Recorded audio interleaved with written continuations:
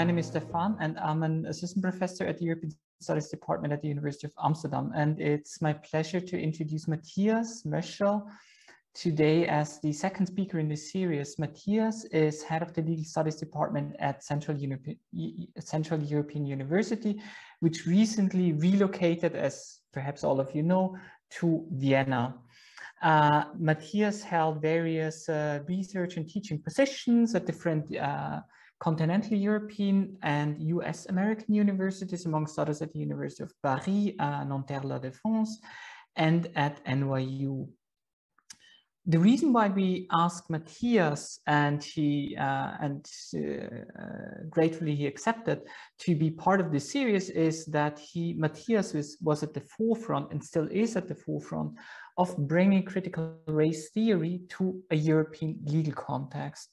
His, in 2014, he published a book which was called, uh, which is called Law, Lawyers and Race. And this, and this book is still, to my knowledge, the only comprehensive monograph that addresses these issues of critical race theory in a continental European context in, uh, uh, more comprehensively. So without further ado, uh, I would uh, hand over to Mathias and to his uh, short statements and short presentation. It's a pleasure to have you, Mathias.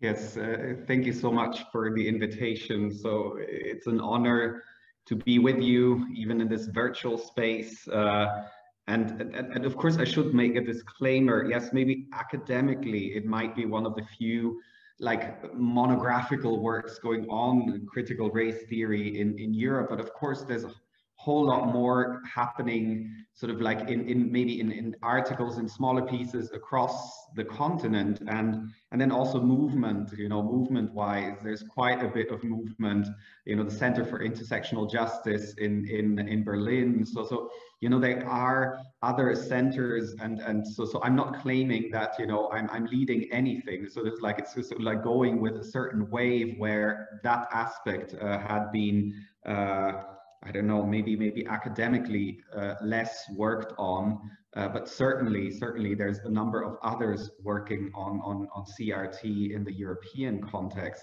But and in some ways, maybe this is why we can also have this event at the moment because I was thinking and I was wondering if some years ago it would have even been possible to have the series that you're having that you're running now at the moment uh, uh, would have existed. So for me, in some ways, it's a sign that the discussions are evolving, that either there's a, an awakening to the issue, that Europe is waking up or mainland Europe is waking up to its amnesia, to its race amnesia, whatever you want to call it. Um, and another thing uh, that I was thinking about is that, you know, you're in Amsterdam. And so I attended years ago, and maybe because I saw Maria Bartel, who uh, wrote her PhD at the same time as I did at the, at the European University Institute, um, I attended what was then the first year in 2008, the Black Europe Summer School in Amsterdam. And what was interesting that that had just been renamed to this uh, to this name from what before was a migration school. Um, and so a number of American students had asked the organizers, so I'm sorry, why is there no discussion about the question of race, about the question of blackness, about the question of colonial aspects? And so that kind of triggered this shift um, to calling the summer school Black Europe's uh, summer school. And so it was the first time in 2008 that it took place. I still think that it's happening and it's uh, Philomena Essed, Kwame Nimako, and, and others that are co-organizing this summer school or used to co-organize the summer school. So in some ways, I did think that it was it was uh, it's a sign about certain things moving, that certain discussions are taking place, and at the same time, even though we're moving forward, what we're also seeing is a sort of like backlash, backlash against uh, questions. And maybe in the in the in the US context it would be correct to talk about backlash.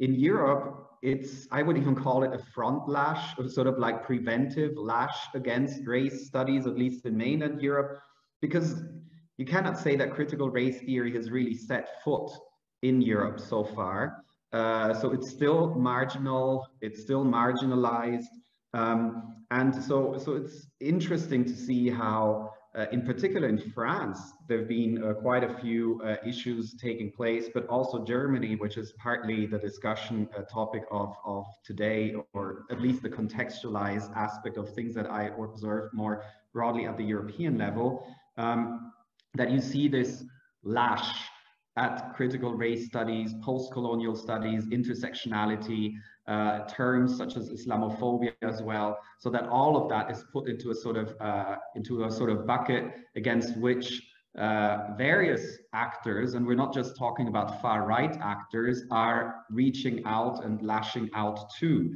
So I find it quite interesting in terms of looking at the arguments that are raised both in the United States, but in similar ways in Europe, against critical race theory. Some of these arguments are as old as critical race theory. Some of them are newer. And it was just like before I, I leave it to my introductory statements, but I thought it was interesting to, you know, put this series also into a broader context uh, within which it is taking place and the risks that the organizers are taking with that as well. So uh, uh, I, am not sure how the situation is in the United States, in, in, in the Netherlands, but uh, in France, certainly organizing events on whiteness, on race, uh, you have the security services coming in along and thinking about, well, uh, are we sure that we're going to do this?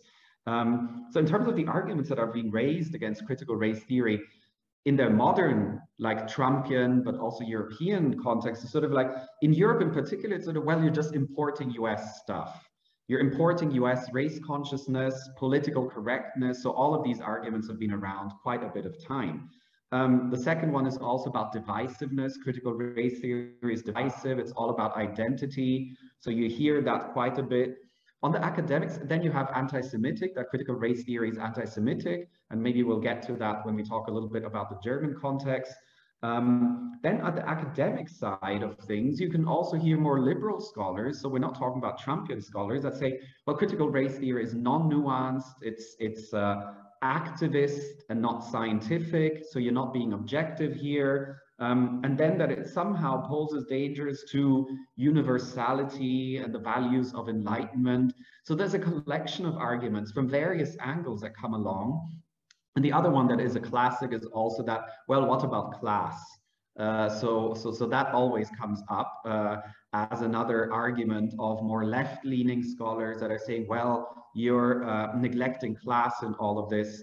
So again, I won't uh, go into, maybe we'll get afterwards into some of the arguments and how we can counter these arguments, uh, some more easier than others. But again, uh, so in, in, terms of you know organizing the series, I'm very happy to be intervening here and I look forward to the questions and to the discussions. Wonderful. So let's uh, jump right into it. But before we do so, could I ask those who feel comfortable um, to turn on their cameras to do so just because it helps with the conversation nature of, of this event to actually see more than just names. Um, so Mathias, you just gave us a little bit of a background of what the critiques are of, of um, critical race theory and situated the pushback for us. Um, but then I don't think necessarily everyone really understands what critical race theory entails, how it developed um, in the US context, and what its applications to law are. So if you could elaborate on that. I mean, that in and of itself would be, I mean, it's it's the subject of a whole course. So I'll try to be very, uh, very concise. Um, there's various narratives in the way that critical race theory emerged. Uh, some of them locate them in student movements at Harvard. Others uh, see that in Berkeley. In, in Berkeley, there were some movements. Certainly, it happened in law schools, in American law schools, or at least the critical race theory that that coined this term because of course in other departments and uh, certain similar things happened. Um, but law schools so students got together and then later on academics young academics of color so students of color academics of color um, under the aegis of critical legal studies attended some of these critical legal studies workshops. And critical legal studies had been heavily involved in critiquing domination in the United States in law and the contribution of law to hegemony um, And uh, but what critical legal studies had failed to do at that time is include the question of racial domination, partly as well of gender domination, in that in their analyses. And so critical race scholars are the first ones got together in a separate workshop. Um, and that's seen in 1987, seen as sort of the birth, the semi-official birth date of critical race theory, where these scholars then got together and developed a set of um, tenets uh, that critical race theorists would subscribe to, and where law certainly played a central role in understanding the way that law contributed to the subordination of racial minorities in the in the American uh, in the American reality. So it was clearly an American initially an American history, a sort of one might even say somehow parochial history there were some internal critiques that it had been too focused on what they call the black-white uh, binary, uh, meaning that there was too much focus on the question of the experience of African Americans. But that was pretty much early on, I would say, already the critiques had been made about the subordination, racial subordination via law of Asian Americans, of Latinos, of Native Americans for sure. So you had all these issues branching out fairly early on and with the key notion of intersectionality, certainly the multidimensionality of race discrimination was also present from the very beginning. And many as well, many of the critical race scholars were women of color. So the overlap of, um, of, uh, of uh, race and gender was there from the very inception of, of critical race theory. Now, um, what Crenshaw describes in her own words, what critical race theory did was a double intervention. So Kimberlé Crenshaw is one of the leading scholars, and she also coined the term um, of critical race theory. And she says critical race theory did a double intervention. Um, it did a left intervention into more traditional US anti-discrimination law in the sense that critical race theory critiqued some of these individualized, uh, non-structural approaches to anti-discrimination law that existed in more traditional liberal scholarship and thought about anti-discrimination law. And at the same time, critical race theory also brought, this I already mentioned, a race intervention into critical legal studies, meaning that critical race scholars highlighted the fact of race uh, being a key part, a structural part of American society and of American law, and the contribution uh, to uh, the domination, subordination of racial minorities in that, in that reality. So very briefly to, uh, uh I tried myself uh, in, in my work then to look at how it came about. That is sort of like almost two timelines, if you think about it even more broadly. So apart from the uh, the I'm not saying micro uh, micro emergence and the tenets of critical race theory, um, but it was a result of two timelines. One was how critical race theorists were able to analyze uh, the timeline of what uh, law did to US minorities um, to be subordinated. So looking at the case law of the US Supreme Court and the statutes and the history, critical legal scholars had a really strong argument in showing the continuities of that subordination, how it morphed for sure, because of course slavery was abolished, but then it changed into other forms of discrimination, into segregation. And so similarly for other racial minorities in the United States, you had those timelines that were clearly visible, unearthing them and showing that was one of the main aspects of that timeline. And the other timeline is more about American legal scholarship as such. So it answers a little bit the question, well, why did it emerge in that context in law schools? And that is more about jurisprudence. And so if you think about it there as well, there was this golden age, you know, 17, I mean, golden age for a certain type of, of person, uh, of course, at that time it was white Catholic males, but um, in the jurisprudence of the US Supreme Court, the golden age that developed from the early years when Madison versus Marbury and so constitutional jurisprudence happened. And then you had a sort of age of formalism, and then comes legal realism. And out of legal realism, then comes uh, postmodern movements and critical race theorists are then anchored within what has been defined postmodern legal movements and there's feminist legal theory, law and economics, law and literature. So, uh, so there's a number of approaches that Gary Minda has been used, uh, has been uh, coining uh, postmodern legal uh, movements. So So again, it's just to locate a little bit some of that in this uh, in this reality. Um, and so again, that's what I would say at the moment about about critical race theory and its emergence in the United States. Thank you so much. That, that was a very comprehensive and very clear overview of how kind of like critical race theory emerged in the US. But how, as you were kind of like one of the first scholars who brought kind of like critical race theory and applied it in the European legal context, excuse me, um, and advocated for this application of critical race theory in European legal context, I would be particularly interested in kind of like how, why should European lawyers use critical race theory in their legal analysis and or legal practice?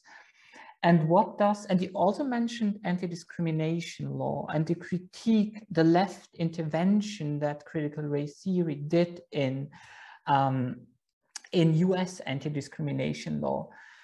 So, and that would be the second question, kind of like what does critical race theory in Europe allow us to see what anti-discrimination law does not permit us to see?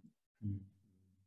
Yeah, thanks. Uh, thanks a lot. I mean, uh, one of the things would be the easy answer and the quick answer would be to say, well, look, uh, do a similar thing to what CRT scholars did in the US look at what the past and history has done of European law, has done to racial minorities in Europe, more broadly speaking. And so, again, uh, uh, how they've been in, in affected by certain pieces of legislation in the past, whether that's colonialism, whether that's anti-Semitism, whether that's anti-Gypsyism, and looking at the continuities and the ruptures. I, I, think the ruptures are interesting and important as well, because of course in the United States, it's easier to say, well, the US Supreme Court, it was always the same institution. Whereas in Europe, that you find often as well, you know, World War One, World War Two, the regimes changed, you went from monarchy to democracy.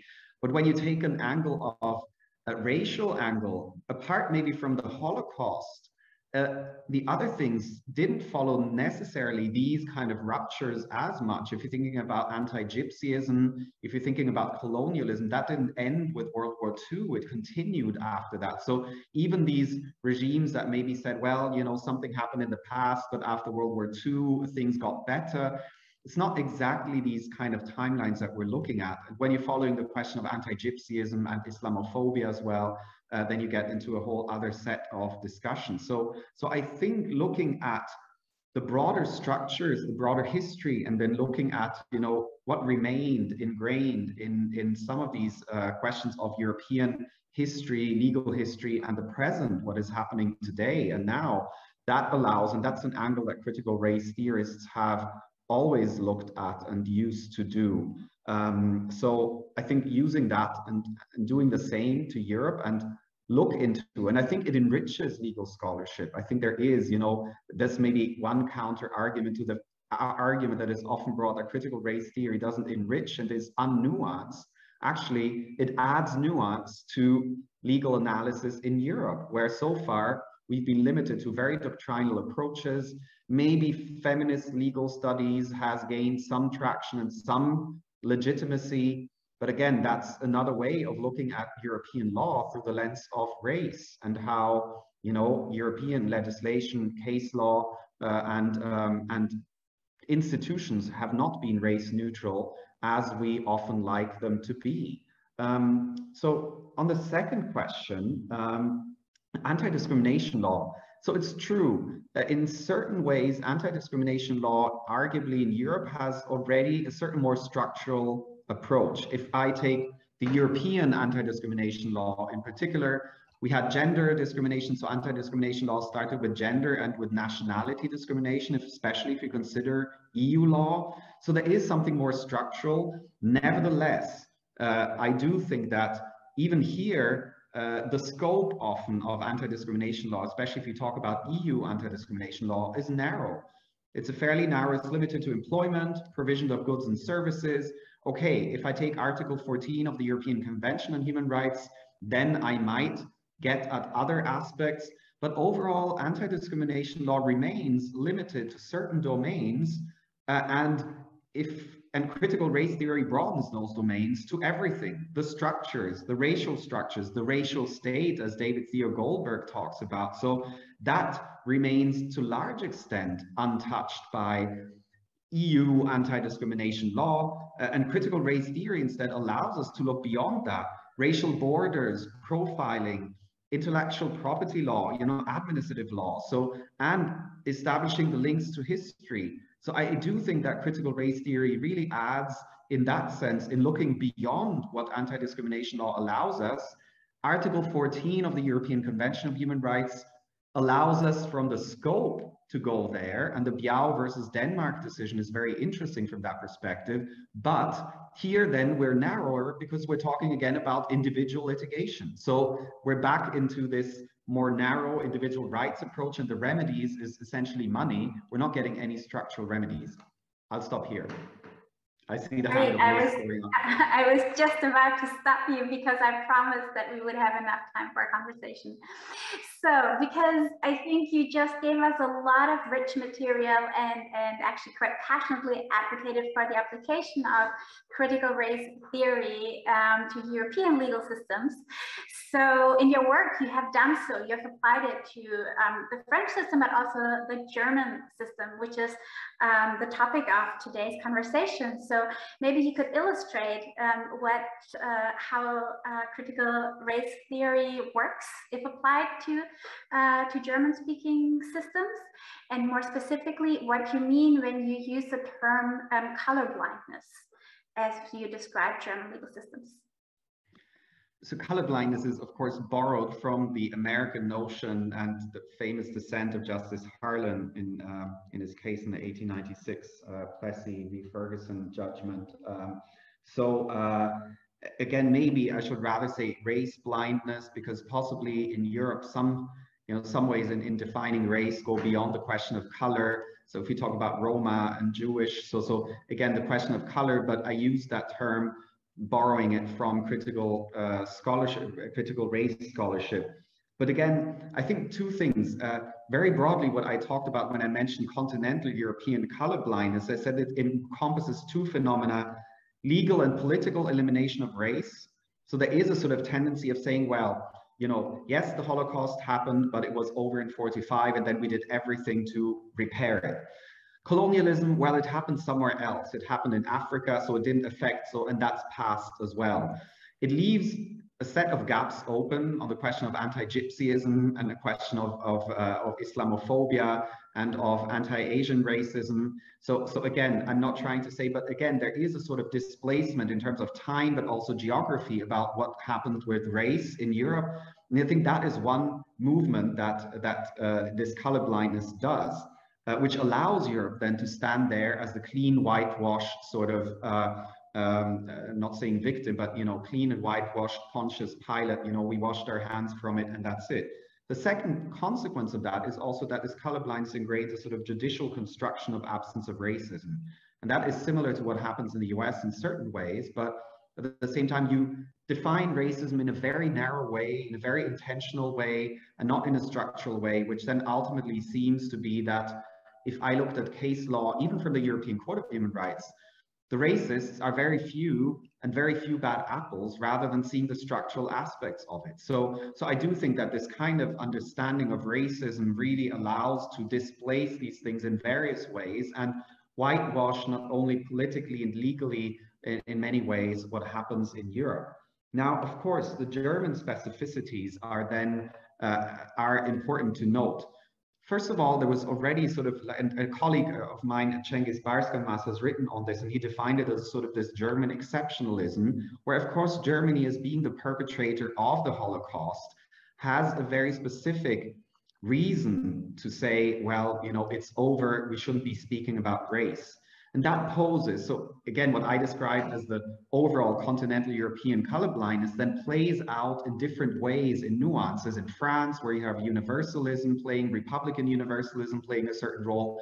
And in Germany, this German exceptionalism with the Holocaust, where this heavy focus and race being read almost exclusively in terms of the Jewish Holocaust, again, I should say the Jewish Holocaust, sort of like forgets the broader aspects. It, so makes it allows for arguments to say we should stop talking about race because of this horrible thing happening. And so that doesn't allow race being used in any other way, in any other exception. And so, um, and it forgets, first of all, it forgets all the other forms of racism that took place as well. So there's some work being done now in Germany, especially historically as well, on on uh, on what happened in in uh, in Namibia and in Africa, uh, maybe some awakening to the reality of, of Roma victims, not only of the Holocaust, but of contemporary forms of racism. And since we speak about the German speaking context, and I'm in Austria as well at the moment, you know, there's a number of questions being raised uh, on the question of, of racism and anti-begging laws. Um, so again, I think ironically, uh, the work that needs to be done, in particular in the German speaking context, is that on the one hand, you need to take race less seriously, because if we keep applying this logic of race and racism is the Jewish Holocaust, that's what you're going to ask from someone to be defined a racist. But that's very narrow and it's extremely difficult to reach that, that threshold. So on the one hand, you need to bring that threshold down. So take it less seriously almost.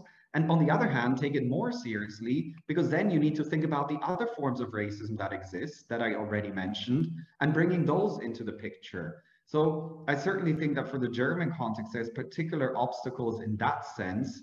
And on top of that, in the legal term, and I'm, I'm, I'm I'll, i know your hand will come up soon. In legal terms, uh, I think as well, what we've seen in particular with the introduction to the anti-discrimination law the German legal private doctrine was extremely hostile to, uh, to the introduction of the AGG, of the Allgemeines Gleichbehandlungsgesetz.